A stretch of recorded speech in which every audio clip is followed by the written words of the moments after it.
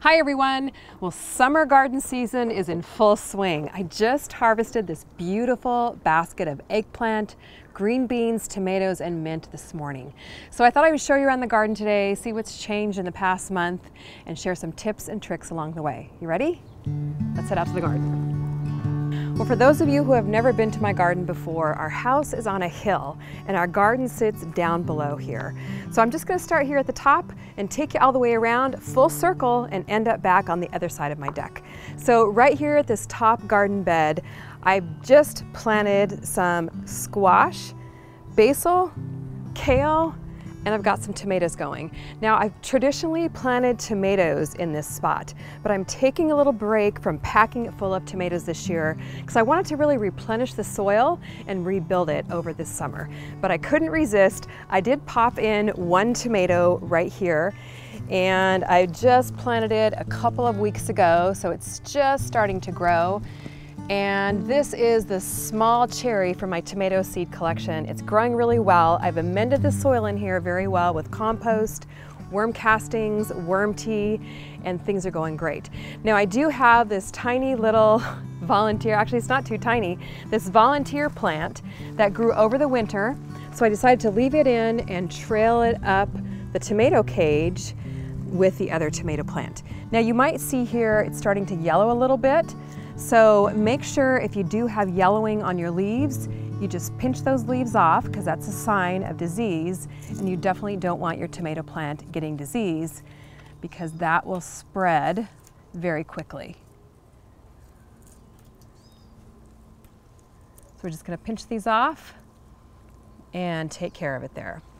Now, right on the front of the garden bed, I have some kale growing. I absolutely love growing kale, especially in the summertime, because it's super heat tolerant. This is a beautiful variety. It's called the Blue Scotch Curled Kale. Look at those ruffly leaves, aren't they pretty? This is from my heat tolerant seed collection. And next to it here is a gorgeous purple kale. I love kale because it's ornamental as well as edible. So it's a really perfect addition to a summer garden. Now, right in here, you see some empty soil. Now, what I decided to do in here was rather than plant a large vegetable, I wanted to have a little kale bed, not kale bed, a little basil bed. So I actually direct seeded just this morning some basil along each of my drip irrigation hoses here. Now basil is a great summer herb to grow. You can either start it from seed indoors, but I am just direct seeding it right here in the garden.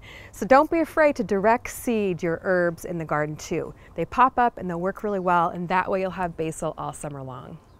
Now in this garden bed right here, I have some squash growing and I actually got my squash in a little bit late this year. We've been focusing so much on the small space garden that some of these plants went in a little late. But no worries, squash grows so fast. I've got a black beauty squash right here that I just planted a couple of weeks ago. And I believe the one right next to it is one of the scallop squash, which is an absolutely gorgeous, gorgeous squash. So I can't wait for these squash to start producing. Now the other thing about squashes, again, you can start the seeds indoors, but at this time of the year, you can just pop seeds right in the garden, makes quick work of getting your squash growing, and within two to three days sometimes, those seeds will be germinating, you'll be well on your way to tons and tons of squash. And you know how quickly squash grows. Now, one of my main emphases from this past spring actually winter and spring has been really bringing in the pollinators. So all along the winter I planted some wildflower seeds and these are from my um, uh, Bring on the Pollinators seed collection. Absolutely going gangbusters. Some of the spring blooms are starting to dry up and die out but I have been succession planting back in here. Just planted some sunflowers a couple of weeks ago now again, I started these from seed indoors, but I've also planted sunflower seeds in here. So as the spring blooms die out, the warm weather sunflowers will take their place. And my hope is that this whole entire fence line will be filled with sunflowers in another month or so. So in another month or so, this whole fence line will be filled with beautiful, bright sunflowers, and it's absolutely so much fun to see all the pollinators buzzing around. So if you need some pollinators in your garden, you might want to plant my Bring on the Pollinators seed kit. and you'll be amazed at all the bees and butterflies and hummingbirds you'll have in your garden. Now I'm still working on this garden bed. I plan on putting in some peppers and possibly some more squash in here in the next couple of weeks. But I do have a beautiful cucumber plant growing and I think there's a couple little teeny tiny baby cucumbers on here and I am so hungry for the taste of a fresh cucumber. I mean, cucumbers are so hard to find, good ones anyway, in the store. So you just can't beat the taste of fresh homegrown cucumbers. Now the other thing I've been growing in this garden bed for probably close to a year now are these kale plants. Now I know it doesn't look like kale right now, but these I just chopped off this morning and because they were starting to bolt and they're gonna be growing right back. Little leaves will grow out and in another month, these stalks will be full of kale leaves just like this one is right now. So kale is one of those vegetables that's great to grow in the heat. This is the red Russian kale, one of my favorite varieties. If you don't like kale, this is a great variety to grow. And these are in my heat tolerant seed collection. Now the other thing that I have growing here in this garden bed is this red clover, crimson clover. Now you might remember a video I posted over the winter time where we planted clover as a cover crop. So right now it's going to seed, it's gonna drop its seeds all over and will reseed next year. So probably in a couple of weeks I'll go ahead and chop this down as I get ready to plant this garden bed out and I'll dig it into the soil to provide good organic matter to the soil. Now the next garden bed here has this chocolate sprinkles tomato that's been in here for almost a year and a half. Now all I've been doing is just trimming off all the diseased and uh, drying up leaves and it is continuing to produce. We didn't get much of a frost this winter so frost did not kill this tomato off. It overwintered. It's absolutely loaded down with these beautiful little cherry tomatoes that have a really nice coloring, uh, kind of brownish color to them. That's why they're called chocolate sprinkles. So this tomato is going strong. I've been fertilizing with worm tea and it's really kept it producing through the winter and now into its second summer. Also in here I have some of the borage. Now if you need pollinators in your garden, again, borage is an absolutely beautiful plant that attracts a ton of bees. The bees love these purple flowers. Fact, here's one right there doing its job. And I really like to plant the flowers right next to the veggies because it gets the pollinators right where I need them. The flowers bring in the bees and then they're right next to my veggies where they can pollinate and grow some more veggies for me. So right next to the borage here is some squash. This I believe is a, yes, it's a yellow straight neck squash. These are in my spring garden seed collection. And super exciting here guys, got my very first squash flower. Now this is a male flower. Um, the male flower has the stem attached to it. The female flower has a fruit attached to it. And I don't see any flowers, any female flowers. So hopefully the pollinators get in here and do their job. And that way um, we've got some, we'll get some squash growing real soon. I absolutely love the pop of color that these wildflowers bring into the garden. Look at this color, these beautiful pink poppies the blue bachelor's buttons. There's all kinds of color back in here. There's a beautiful sunflower that's getting ready to bloom.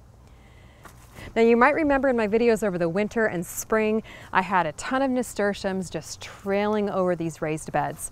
We can see here I've cut them off because they've kind of been fading out in the summer heat. But the cool thing about nasturtiums is once you trim them off, they drop a ton of seeds. These are nasturtium seeds and they will resprout and regrow over the summertime. So it's super easy to replant.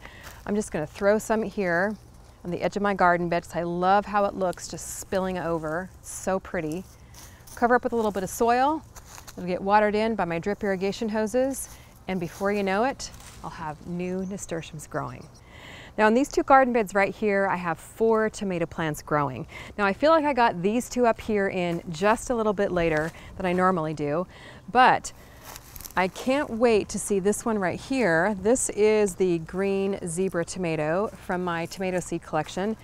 Now it looks a little bit small right now. I did just trim back a whole bunch of um, borage and other flowers that were growing right behind it that were really shading it out. And one thing I just noticed too, and this is a good thing for everyone to pay attention to, that it wasn't getting enough water. I, I, was over here this morning, put my finger in the soil, and the soil felt really dry. So the drip irrigation emitter, I think, is clogged. So what I did is I went ahead and put another drip emitter hose right in here to uh, make sure that it's getting plenty of water fertilized it with some worm tea and fish fertilizer and I'm sure it'll be taking off very soon. So make sure that you do check your plants, especially in the heat, to make sure they're getting enough water. Now the tomato plant right next to it is one of the Roma tomatoes from my tomato seed collection. It's growing very nicely. I did go ahead and put a store-bought cage on it just because I needed to pop a cage in real quick. This one's a nice sturdy one. Uh, I think these ones run about $10. So I usually like to use my DIY tomato cages but I needed something quick, so I popped this one in and it's working out just fine. Now I'm super excited here, guys, because I've got some beautiful big sized tomatoes coming on here. This is the Arkansas Traveler tomato. Remember that from the Spring Garden series? And would you look at these tomatoes? This is a heat tolerant tomato and they are coming on strong. Can't wait to harvest those. I really love those beautiful full size tomatoes. And right next to it, this is the Siberian tomato, which is actually a cold tolerant tomato. It will grow in the heat, but it's a great tomato for people with short growing seasons because it also does take the colder temperatures and keeps on growing well. But look at that, guys. Fresh tomatoes are coming soon. Now I wanted to give you a quick little look at this garden bed here against the fence because there's a beautiful flower that I'm growing over here called SunPatiens. It's an absolutely gorgeous pop of pink. Now I planted these about a year ago. They lasted over the winter just beautifully and are starting to spread out and fill in this garden bed. So these are a type of impatiens flower that grow both in the shade and in the sun. So if you're looking for a bright pop of color that spreads fairly quickly, is super easy to grow, I would highly recommend SunPatiens. Now here on the deck, I have my container garden in smart pots. And oh, I just noticed here, another garlic scape. Need to pick that off because remember we had that garlic video last week and I mentioned that it's important to come out every single week and check to see if you have new garlic scapes. Now I don't have a pair of pruners with me, so I might have to come back later. Oh, there we go, we got it. and back in here too, I also have my heat tolerant container.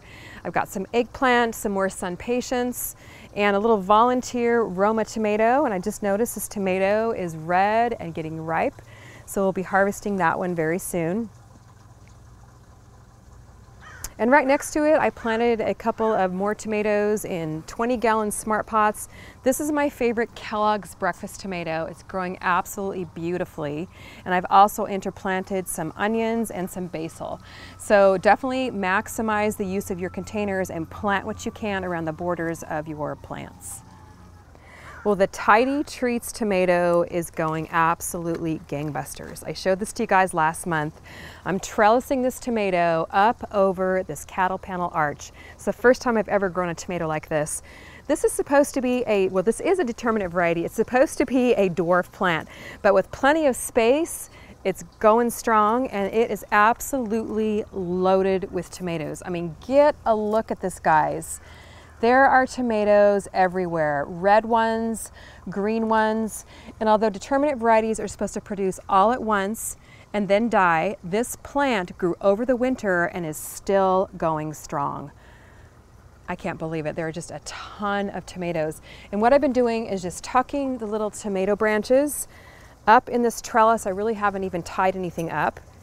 And it's just continuing to grow and filling this whole space. Now right in here is a different plant for me. It's a purple broccoli and I'm pretty excited about this because usually broccoli doesn't do well for me, but I think this is doing pretty well because it's been shaded out by the tomato. So it is starting to bolt just a little bit, but I absolutely love that gorgeous purple color. And I will be harvesting this, these this week, even though I hate to because they're just so pretty. So I also threw in some sunflower seeds Again, I can't wait for these to bloom. It's gonna be so pretty. Look at that bloom, just getting ready to open up. And then along the back here, there's some pole beans climbing up over the trellis. And as these die out, the new ones will take their place.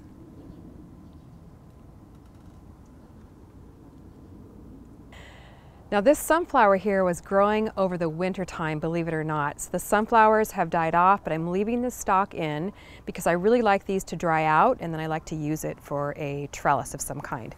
Now I've clipped off the sunflower heads and just lay them out here in the sun to dry.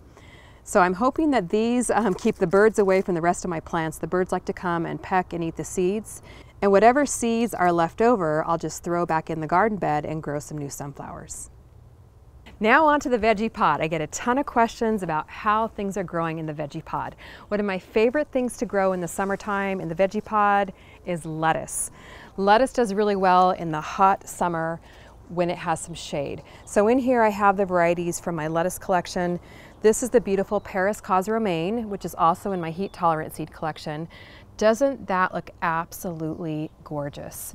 And right next to it is the mesclun mix. I love the different textures and colors in the mesclun mix, growing absolutely beautifully here under some shade. In the middle is one of my very favorite zippy greens. This is a giant red mustard green. Really adds a nice zip to your salad. And this Prizehead, absolutely gorgeous. I love the variegated color on the leaves and it is really taking the heat well. It's been 90 degrees the past couple of days. The red romaine is doing beautifully.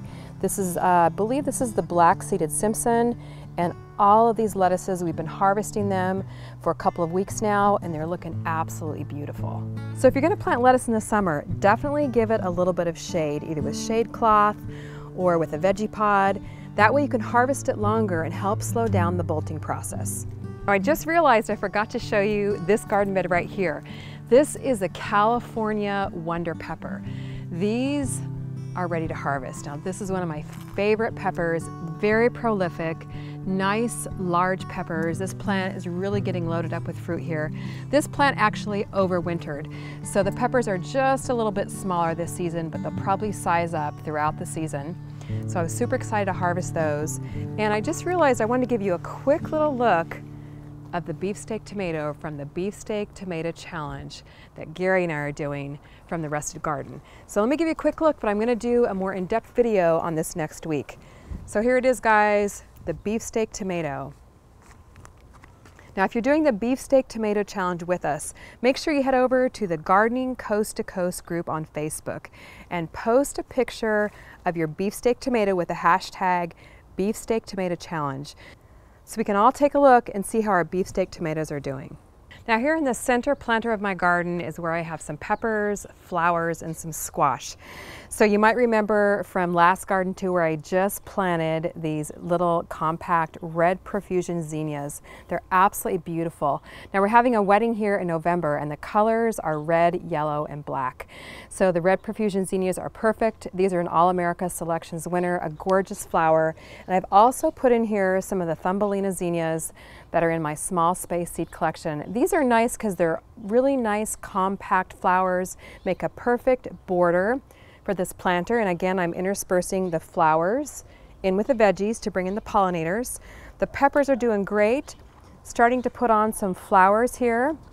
I think this one is one of the yellow California Wonder Peppers. I think that one's in my pepper collection. And again, here we have a perfect example of the nasturtiums popping up once again. Got some garlic in here. Now this garlic has not started shooting up the scapes yet, but I will keep an eye on that and trim them off as they come up. Now around the front of the garden bed here, there's some spaghetti squash. Now one thing I like to do is try and maximize every little bit of space I possibly can. So I've popped in a spaghetti squash here and the flowers are coming on and I think I saw a little teeny tiny baby spaghetti squash this morning. Yes, it's right over here. Isn't that cute? A little teeny tiny baby spaghetti squash. So hopefully the pollinators get in here, do their job, and we'll have a nice spaghetti squash growing here very soon. Now what I'm planning on doing with this plant is I'm gonna trail it around the planter here to make the most use of its space. So I'm coming out here every day and making sure that I direct the vines so that it goes this way and we'll just circle it around this fountain.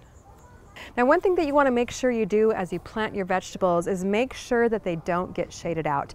Here's another spaghetti squash on the other side of the planter. And I actually planted this the exact same time that I planted the one I just showed you, but look at the difference in size. And the reason for that is it's getting shaded out by this pepper plant right here. So it doesn't get much sun in the morning, it only gets the afternoon sun. So what a difference in growth. So pay attention to the sun and the placement of your vegetables as you're planting. Now along this area here, there's some beautiful peppers that have been in for over a year. There's this gorgeous Thai chili pepper and there's actually some new ones coming on. This plant will completely load up with peppers, be absolutely beautiful. And along in here, these are some red chilies that are not red yet, but this plant's also loading up. And back in here, we've got some hot banana peppers. And along the back side of this planter, we have some of the tiny Tim tomatoes from the Small Space Seed Collection. Look at these guys. They are so cute. If you have a small space, this is a beautiful, compact tomato plant to grow and it works well in a container and also in a planter. So it's a great spot for these. Moving to the top of the wall, you might remember my seedling holding area from last month. Now, thankfully, there's a lot fewer seedlings here. Some of these I haven't gotten planted, these onions though will are pretty indestructible, so I'll get these planted out this week. I have transplanted some of my tomatoes into these little Smart Pots transplanters. These things are so handy because the sides fold over and you can just pop them right into the garden. So you can see here a little bit of yellowing on the leaves, which we'll just snip off here. No problem, and I'll be planting these out as I have time into the garden over the next few weeks. So I did pop some of the tomatoes in these containers here, took out some of the old plants from last month. This is a new one to me this year. It's a Black Beauty tomato, and look at the leaves here. They're that nice purple color, and that's not a sign of any disease or anything. Because this is a Black Beauty tomato, it's a real dark purple tomato, the leaves are gonna be slightly more purple. So keep that in mind if you're growing any purple tomatoes in your garden. The strawberry crate towers are doing absolutely fantastic this season. They're growing like crazy. They're putting on some new flowers. I just harvested a whole bunch a few weeks ago. They're slowing down just a little bit in the heat. And a little tip on the strawberries, once it gets over 85 degrees, make sure you give them a little, little bit of shade. So here I have a shade cloth that is a 40% block and it does still allow some of the sunlight to come through. But on days where it's going to be over 85 degrees, I simply just drape it over the strawberry tower. And I just, just have it clipped on here. It's a very simple little method. And that way it provides a little bit of shade for the strawberries so that they make it through the hot summer days. Now in this garden bed, I've planted some tomatoes and this butternut squash here. Butternut squash works great on a trellis. I'm just using one of my DIY tomato cages. And come out and check your squash daily for butternut squash because it does grow super fast. And what I've been doing is just weaving it in these tomato cages here. And that way it'll trail up the cage and it really helps you save a lot of space. So this is off to a really good start. Now I did plant a really pretty teddy bear sunflower right here. This is a great variety of sunflower if you want, if you have a smaller space. It's a more compact flower and you can tell it's getting ready to bloom as well. And these are in my sunflower seed collection. Now over here is a sage plant. Look at this beautiful sage plant. It's going crazy, believe it or not. I cut it back almost completely over the winter time. It's flowering and these flowers here are drying out, going to seed. I am going to be trimming this back soon, but the bees absolutely love the purple flowers. So sage is a great herb to use in cooking. It smells absolutely wonderful, but it will grow back once you cut it back. Now I have planted some tomatoes in here. Here's another Kellogg's breakfast tomato. This one gets a little bit more shade than I would like up here against the wall but I wanted to pop it in here anyway because it's one of my favorite tomato varieties and this is the only space I had. Now look at the celery tree here. The celery grows and reseeds in my garden every single summer and I, or every, every single year. And I do love to, once it bolts, leave one of them in. It's super, super tall. The flowers are gorgeous and it's a huge bee attractor. Next to the celery, I have some mint, and you can see the mint is getting kind of overgrown, and it's definitely due for a haircut. Now the mint here is starting to flower. I don't typically like to allow my mint to flower because These flowers will turn into seeds and mint can be very, very invasive, so you really have to be careful with it. So I'm gonna be coming in here next week, probably with my hedge trimmers, giving it a little haircut. That'll help provide some new growth to the mint and help contain it so the mint seeds don't drop everywhere. Now I do have it here in a planter. You can see there, I really prefer to plant it in a container and I highly recommend that so your mint doesn't completely invade your garden. A few final things about this garden bed, a couple of tomato plants. Now I still have to cage this plant, so I'll need to do that within the next few weeks. Otherwise it's gonna be really tough to get into a cage. And I'm not sure what variety this is. Oh, here we go. This is a Siberian tomato. So I've got another one of those cold tolerant tomatoes in.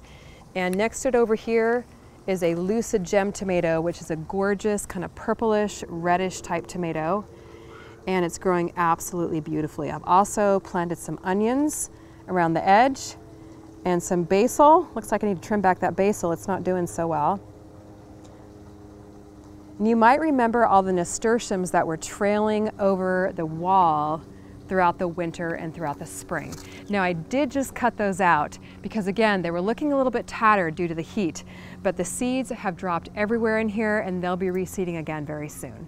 You might remember the bright red orange calendulas I had planted along the back of this garden bed in last month's tour. The heat took those out. I actually took them out this morning, but the heat dried them up, but they will reseed and grow back and we'll have some beautiful orange flowers to fill in probably towards the end of the summer. Now this plant right here, I believe it's a Brussels sprouts plant and I almost took it out, but I thought why not leave it? It provides something nice and green for this area and I believe these are little teeny tiny Brussels sprouts starting to develop on the stem here. So I don't know if they'll produce much for me over the summer because of the heat, but I thought I would leave it in and give it a try. I've also got some kale growing in here and it's taken the heat really, really well as the red Russian kale and some ornamental kale. I absolutely love the color on this ornamental kale. It's so, so pretty. And this is a kale that you can eat as well. And right here I have some dahlias that actually came back from last year. I just cut them all the way back. Wasn't too sure they'd make it, but they're coming back just beautifully and I think they'll be blooming again very soon. So I'd like to eventually plant something that trails up over this archway but I'm not too sure what I'm gonna plant. We may end up moving this whole planter and putting some trees in back here. So we'll definitely keep you uh, posted on that. Now back in this corner of my garden, I have a few things going on. Up here against the fence, I planted some sunflowers. This is the beautiful cutting gold sunflower. It's a non-branching variety, so it just goes straight up and it's going to be blooming some gorgeous gold flowers. It'll be beautiful for cutting very soon. And these are also in the sunflower seed collection.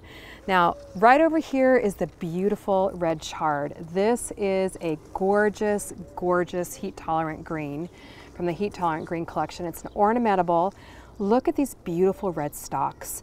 And these greens are super tasty. Look how big they are. You can use them for wraps, put them in smoothies, put them in salads absolutely one of my favorite greens to grow. And here we have the beautiful yellow brandywine tomato. I absolutely love these leaves. They're nice and soft and feathery, a beautiful tomato. I believe I'm starting to get some flowers here. Yes, I am. So I cannot wait to try these beautiful, gorgeous yellow brandywine tomatoes. And these are in my tomato seed collection. I've also planted some of the Thumbelina zinnias right along the edge here to give it that nice pop of color, bring in the pollinators, so I'm really looking forward to those blooming as well. Now a little tip on helping your tomatoes grow more tomatoes. Tomato flowers have both male and female parts and if you come along and just give your tomato plants a little shake every time you walk by them, it helps pollinate the flowers and helps the tomatoes develop a little bit quicker. Well guys, I'm excited, but also a little bit embarrassed to show you the grapevine. The reason why I'm mm. excited is I have never seen so much growth from this grapevine in the two years that it's been in. Now, do you remember the grapevine pruning video? We pruned this back to the sticks. It looked dead. It looked like it wasn't going to produce and look at it now. It has absolutely exploded, exploded in growth. And there are bunches of grapes everywhere. So I'm really looking forward to a fantastic harvest this year. Look at these little grapes that are starting to form and they're all over this plant. So the grapevine pruning really did the trick. I've never seen so much growth from this plant before. The reason why I'm embarrassed is, unfortunately, I didn't get a trellis put up in time. I have a very short to maybe three foot trellis. My intention was to double that and build it up here. And now I'm not too sure what to do. There's grapevines everywhere, all over the ground. They're trailing way over here, up over the fence into the neighbor's yard. And I'm not sure what to do. So if anybody has any great ideas, please let me know. I'd love to maybe stack another um, galvanized as a piece of concrete remesh above this but I'm a little bit out of a loss. So please let me know if you have any great ideas. Well, that pretty much concludes the tour for down here at the bottom of the hill. Let's head up to the small space garden and wrap things up up there. The small space garden is growing in absolutely beautifully and we'll be doing a harvest video very soon. We've got some cucumbers coming in. The tomatoes are looking absolutely gorgeous. And by the way, these Calikim Smart Pots are now available on my website. They were out of stock, but they should be back in stock this weekend. So make sure you head over, pick one of those up, because I know a lot of you wanted them last time and they sold out. If you need seeds, head to my website, calikimgardenhome.com. We're looking forward to many more harvests and growing together this summer. So I'd love to see some photos of your garden and how things are going. Make sure you post one over on the gardening Coast to Coast Facebook group. It's a great group. There's about 30,000 gardeners from all over the world there. So it's a great place to get gardening information and to get a lot of support and gardening help along the way. Well guys, hope you enjoyed the garden tour and tips and tricks. Comment below, let me know how your garden is doing and what tips you're gonna be implementing in your garden this summer. Thanks so much for watching. We'll see you on the next video.